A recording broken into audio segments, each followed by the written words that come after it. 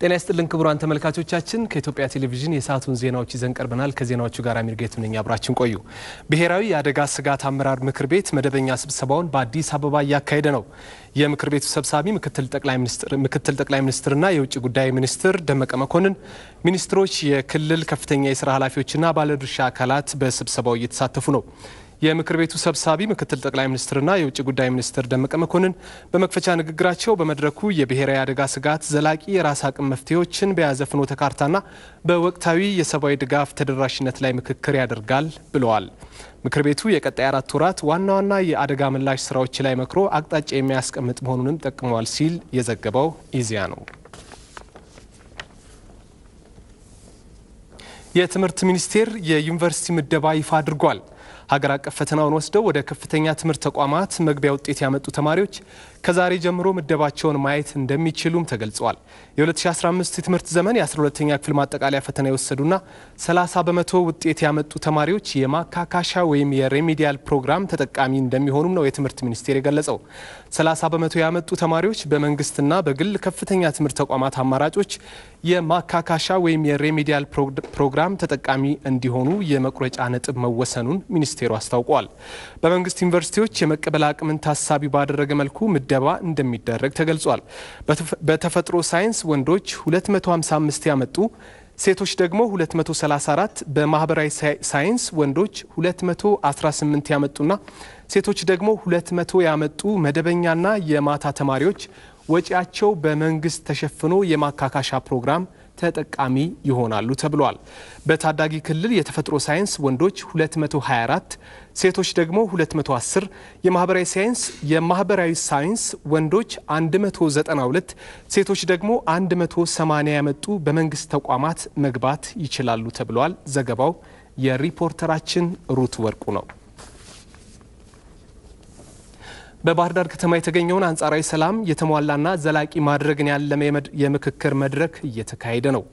የባህር ዳር ከተማ አስተዳደር በወቅታዊ ሁኔታና በቀጣይ አቅጣጫዎች ዙሪያ ለውይይት ባዘጋጀው መድረክ የባህር ዳር ከተማ ተቀዳሚ ምክትል ከንቲባ ጎሹ እንዳላማው የክልልና የከተማው ከፍተኛ የስራ ኃላፊዎች፣ የሃይማኖት አባቶች፣ የሀገር ሽማግሌዎችና የህብረተሰብ ተወካዮች የተገኙበት ነው። በመድረኩ ለዘላቂ ሰላም ግንባታና የልማት ተግባራት አቅጣጫዎች እንደሚመላከቱበት ይጠበቃል።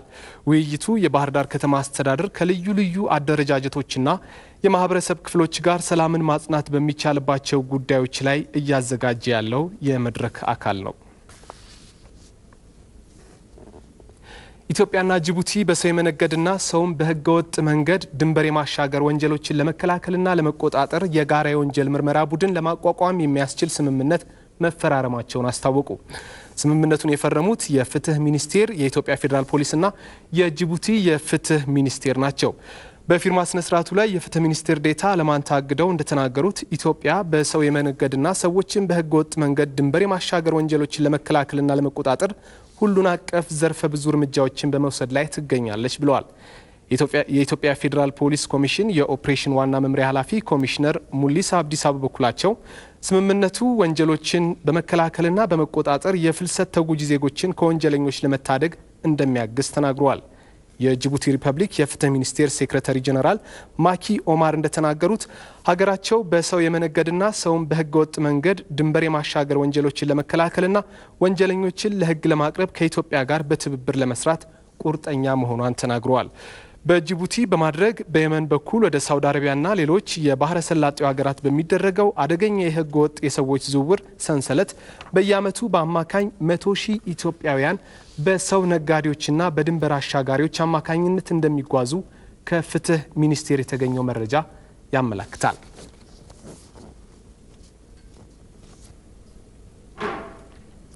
ክቡራን ተመልካቾቻችን የሰዓቱ አጫጭር ዘገባዎች በዚሁ አበቁ። ከኢቲቪ አመሻሽ ጋር ጥሩ ጊዜ ይሆንላችሁ።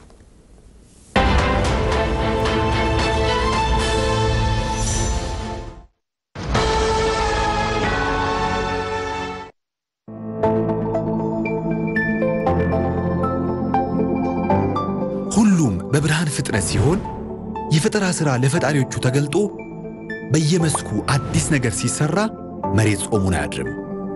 የግብርና ውጤት ተትረፍርፎ ሀገር ጠግቦ ያድራል።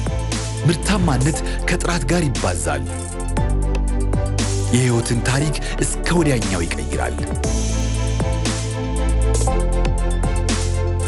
ትምህርት ሰልጥኖ ለሁሉም ይዳረሳል። ሕክምና ዘምኖ ውድ ነፍስ ይድናል። በየዘርፉ ምርታማነት ይዘምናል። ከዚህም በላይ ይሆናል። በ5G ኢንተርኔት የማይቻል የሚመስለው ተችሎ አዲስ ነገር ይሆናል።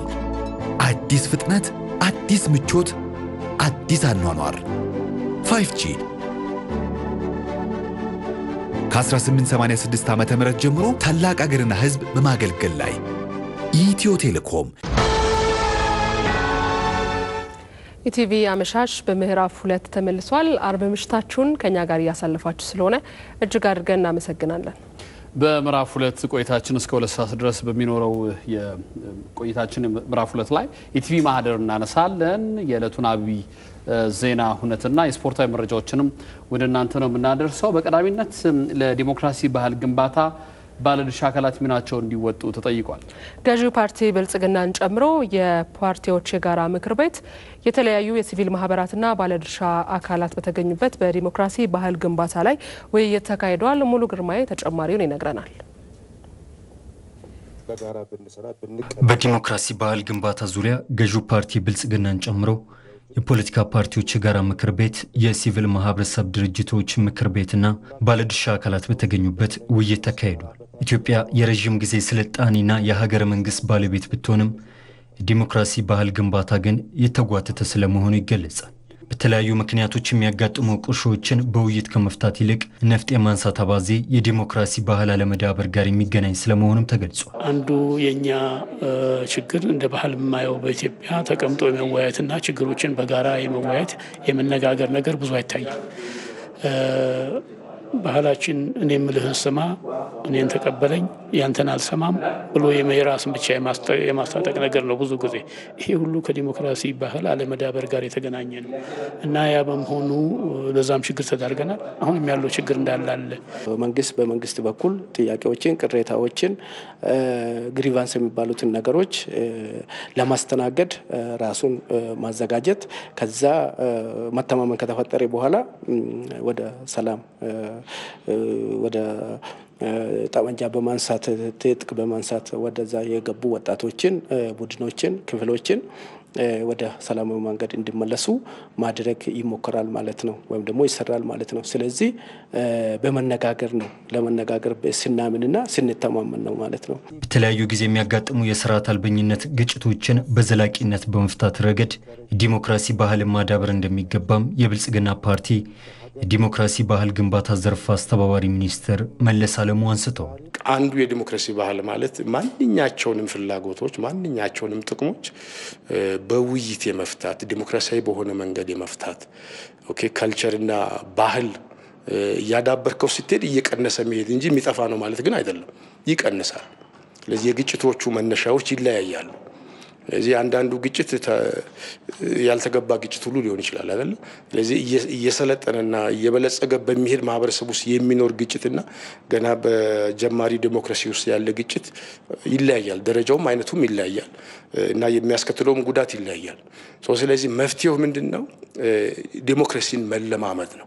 በኢትዮጵያ በ2010 ዓ ም የተካሄደውን ፖለቲካዊ ለውጥ ተከትሎ ዲሞክራሲን ለማጽናት ተቋማትን የመገንባትና የመድበለ ፓርቲ ስርዓትን የማስፈን ስራዎች መጀመራቸውን አቶ መለስ አለሙ ገልጸዋል። ነገር ግን የዳበረ የዲሞክራሲ ስርዓትን በመገንባት ረገድ ባለድርሻ አካላት ሚናቸውን ሊወጡ ይገባል ብለዋል።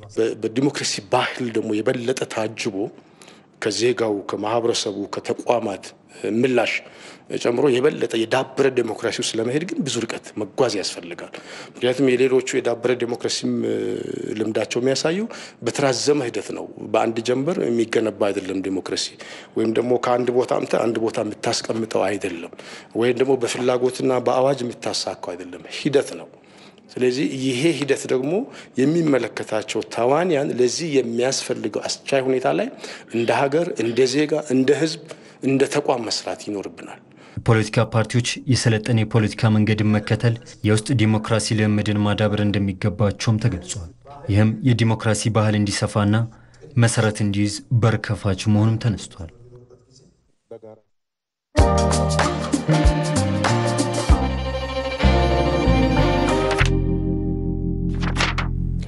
ወደ ኢቲቪ ማህደር ጥንቅራችን እናልፋለን። ኢቲቪ ማህደርን ለዛሬ በራሳችን ቤት የብዙዎችን ታሪክ የግለሰቦችን የታሪክ የሀገርን በጣም ብዙ ተቋማትን ታሪክ ሰንደን ይዘናል። ዛሬ ደግሞ የምስረታ በዓላችንን ምክንያት በማድረግ የኢትዮጵያ ቴሌቪዥንን የ archive ፈትሸን ስለ ራሳችን ያዘጋጀነው ታሪክ አለ። የኢትዮጵያ ቴሌቪዥን እንግዲህ ለዘመናት አንድ ለእናቱ ነበረ። ረዥም ዓመታትን አስቆጥሮ ዛሬ ላይ ሲደርስም በጣም በርካታ ባለሙያዎችን አፍርቷል። ኢቲቪ ከዚህ የወጡ በጣም ብዙ ባለሙያዎች አሉ። ነገር ግን ተቋሙ ስራ ሲጀምር ሰላሳ አንድ ባለሙያዎችን ብቻ ነበር ይዞ የነበረው።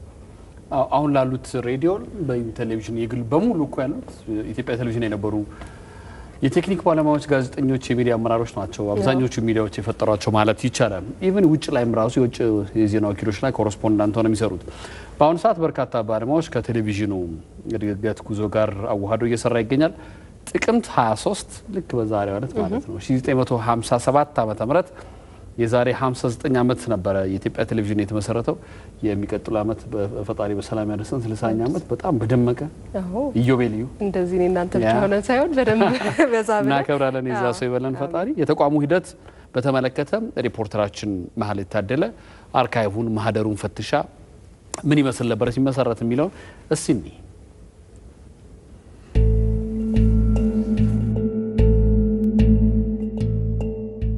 በ1948 ዓ ም የቀዳማዊ ኃይለ ሥላሴ 25ኛ ዓመት የንግሥና ክብረ በዓል በሚከበርበት ወቅት ነበር የኢትዮጵያ ቴሌቪዥን ውጥኑ የተጠነሰሰው። በወቅቱ የቴሌቪዥን ምንነትና ጠቀሜታ በኢትዮጵያውያን ዘንድ የማይታወቅ አዲስ ሐሳብ ነበር።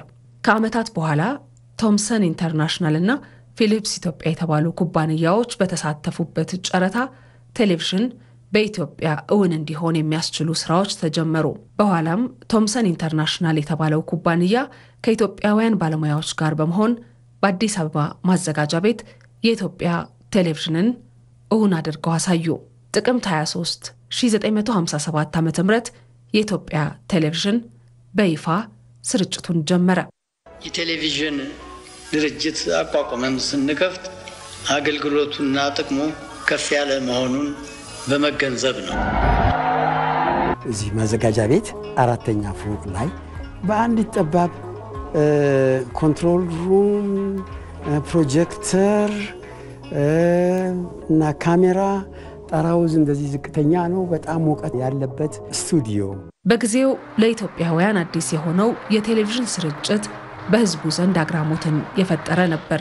ድምፅና ተንቀሳቃሽ ምስልን በማቀናበር የሚቀርቡ ትዕይንቶች የሚታዩበት የቴሌቪዥን ስርጭት በኢትዮጵያ እውን መሆኑ ቴክኖሎጂውን በውጭ ሀገራት ተመልክተው ሲመኙት ለኖሩት ደግሞ መልካም ዜና ነበር። ጥያቄ በየጊዜው አለ። በዚህ ጥያቄ እኔም እስማማበታለሁኝ። ሌላው ቅሬታ በህዝቡ ዘንድ የሚሰማው በእኔም በኩል ለምንድን ነው የውጭ ሀገር ፊልም ብቻ የምታሳዩን የሚል ነገር አለ። የሀገራችንን ስንት መስራት የሚገባው ነገር እያለ ለምን አናየውም? የኢትዮጵያ ቴሌቪዥን በአምስት እንግሊዛውያንና በ26 ኢትዮጵያውያን ባለሙያዎች ነበር ስራውን የጀመረው። በወቅቱ ፈርቀዳጅ ከነበሩት ባለሙያዎች መካከል ጋዜጠኛና ደራሲው በዓሉ ግርማ የኢትዮጵያ ቴሌቪዥን እውን መሆን የፈጠረበትን ስሜት በዚህ መልክ ነበር የገለጸው። በቴሌቪዥን ቴክኒክ የሰለጠኑ ኢትዮጵያውያን እንደማስታውሰው አንድም አልነበረም። ነገር ግን በዚህ በአጭር ጊዜ ውስጥ ዛሬ የኢትዮጵያ ቴሌቪዥን አገልግሎት ሙሉ በሙሉ በኢትዮጵያውያን ሲካሄድ በማየቴ በጣም ደስ ይለኛል። የኢትዮጵያ ቴሌቪዥን ለረጅም ዓመታት ብቸኛው የቴሌቪዥን ጣቢያ ሆኖ ኢትዮጵያውያንን አገልግሏል። ጣቢያው በጊዜ ሂደት አዳዲስ ፕሮግራሞችን በመቅረጽ ተወዳጅ የመረጃና የመዝናኛ ምንጭ ሆኖ ቀጥሏል። በተለይም የዜና፣ የመቶ ሀያ የጥያቄና መልስ፣ የከየአቅጣጫው፣ የህብረት ትርኢት፣ የዓለም እንዴት ሰነበተችና የድራማ መሰናዶዎቹ ተመልካቾቹ አሁን ድረስ የሚያስታውሷቸውና አይረሴ ናቸው። በሌላ በኩል ኢቲቪ ቀዳሚው የቴሌቪዥን ጣቢያ በመሆኑ ሰፊ የምስልና ድምፅ ክምችት ባለቤት እንዲሆንም አድርጎታል። ያሉን ክምችቶች በጣም ሰፊ ናቸው፣ ብዙ ናቸው፣ በጥሩ ሁኔታ የተያያዙ ናቸው።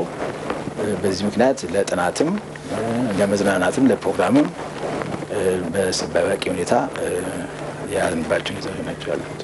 የኢትዮጵያ ቴሌቪዥን በተቋቋመበት ወቅት ከነበረው ኋላ ቀር ቴክኖሎጂና የጥቁርና ነጭ ምስል በሂደት እየተሻሻለ ዛሬ ላይ ዓለም የሚጠቀምበትን ዘመኑን የዋጀ የቴሌቪዥን ቴክኖሎጂ ያሟላ ተቋም መሆን ችሏል። ሸጎሌ አካባቢ ባለው የኢትዮጵያ ብሮድካስቲንግ ኮርፖሬሽን ዘመናዊ የሚዲያ complex ውስጥ ለኢትዮጵያ ቴሌቪዥን በተገጠሙለት ዘመናዊ መሳሪያዎችና ባለው ብቁ የሰው ኃይል ታግዞ ተአማኒ የመረጃ ምንጭ ሆኖ ለመቀጠል እየሰራም ይገኛል። በአጠቃላይ በሁሉም ጣቢያዎቻችን ላይ የምንሰራው የዘመኑን የ social media የማህበራዊ ሚዲያ ታሳቢ ያደረገ የሚዲያ convergence ን ታሳቢ ያደረገ የይዘት የሰው ኃይል የአቀራረብ እና የቴክኖሎጂ ለውጥ ነው እያመጣን ያለው። ከ1957 ዓ ም ጀምሮ ኢትዮጵያውያንን እያገለገለ ዛሬ የደረሰው የኢትዮጵያ ቴሌቪዥን ወደፊትም ኢትዮጵያንና ሕዝቧን በታማኝነት ለማገልገል እየሰራ ይገኛል። እዚህ ላይ ነን። ነገ ደግሞ የከፍታችን መዳረሻ የት እንደሚሆን አናውቅም። አብሮነታችሁን ግን አሁንም በጉዟችን ሙሉ እንጠይቃለን። ኢቲቪ አመሻሽ ይቀጥላል። የስፖርታዊ ጉዳዮች ላይ ደርሰናል። በዛሬው ዕለት እንግዲህ በጣም ብዙዎችን ያነጋገረው የዋሊያዎቹ የኢትዮጵያ ብሔራዊ ቡድን አሰልጣኝ ተሾሞ